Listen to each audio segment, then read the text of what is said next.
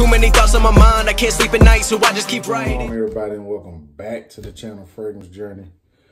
Just getting off work, want to drop a quick first impressions. Um, hope everybody's having a blessed week. It's a Monday.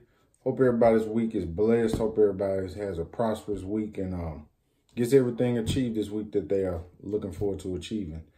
Uh, today, I'm going to be reviewing a house, as I say in all my reviews, because I'm really a fragrance nerd. I uh, most of the time I'm watching YouTube fragrance videos. I'm writing down fragrances and notes and fragrances I want to look at getting. And um, this house I was gonna wait until I was in Europe to get, but I went ahead and got a couple offerings from the house, like I do. If you watch my videos, I very seldomly uh, get a fragrance from a house and like it, and then not get another one from that house. I usually get back to back to back to back. So this is gonna be no different. The presentation on this is just out of this world. The price is a little high, to be honest. I mean, I won't say a little high. It's actually high. But I had to get a couple in my collection. And the house is Atelier des Ors. Man, this is just, this presentation is just bananas. I already, I opened this earlier today. And man, that is just, wow. Look at that presentation with the gold flakes. I was watching a video. It's Mr. Crave or Mr. Crave. He said this damn cap so heavy you can kill somebody with it. But this cap is very heavy. And just the bottling, just the presentation is just amazing. I mean, the, engra the indention, well, engraves or indentions on the back. Uh, the front cap is just beautiful.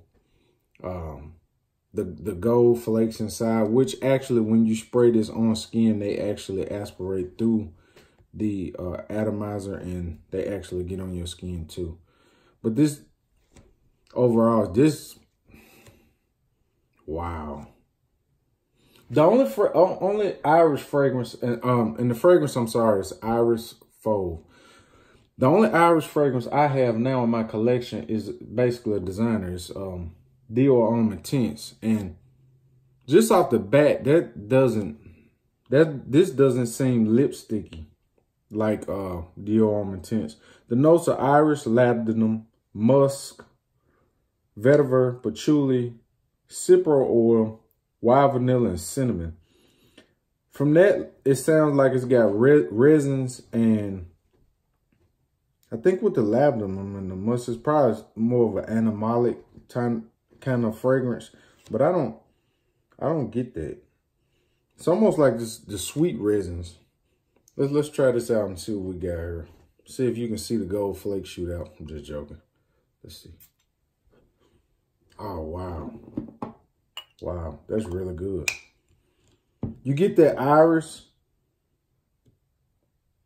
but I definitely get some patchouli and a little bit of vetiver. It's not just a iris, just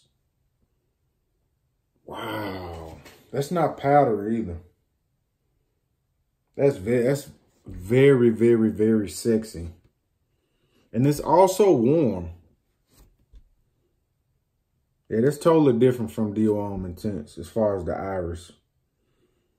Wow.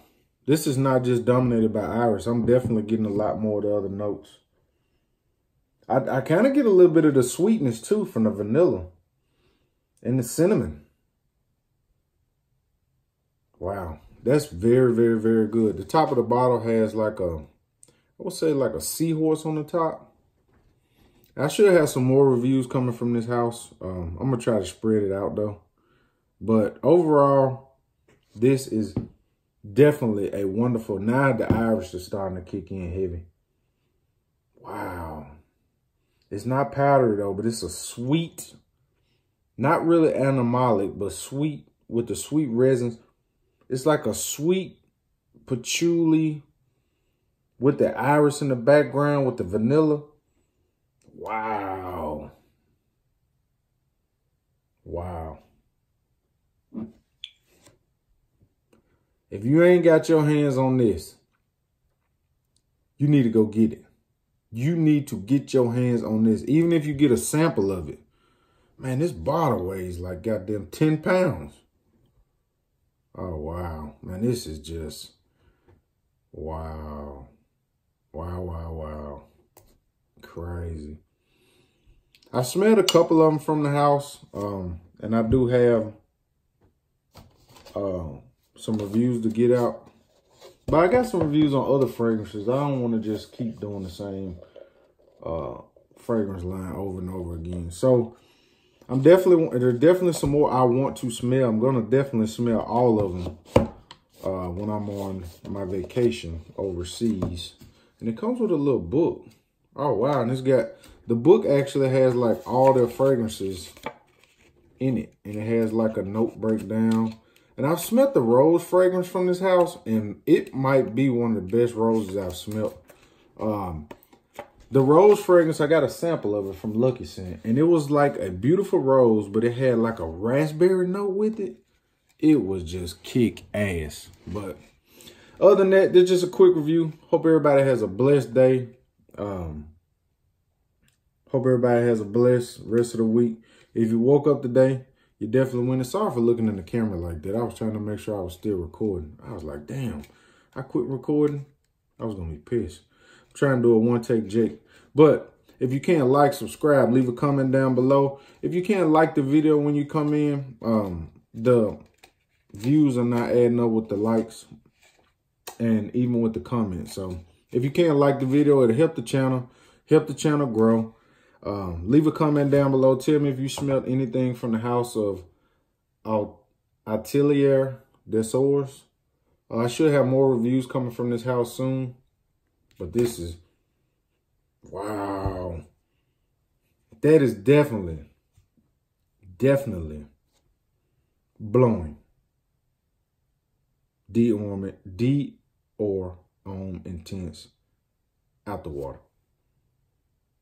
Different fragrance, but I definitely like this iris a lot more. It's not as lipsticky and also you can just get all the other notes around it so much better. I thought this was definitely going to be animalic or like a very, you know, because of the labdanum and stuff, the musk, but it's not. Oh, wow. All right. Well, let me get out of here. Hopefully everybody gets a chance to get their hand on this and get their nose on it. And just pick up a sample from Luckyscent. They've got some really cool fragrances uh, from this line. And uh, should have more reviews coming soon. It's just a quick one. I'm out. Peace.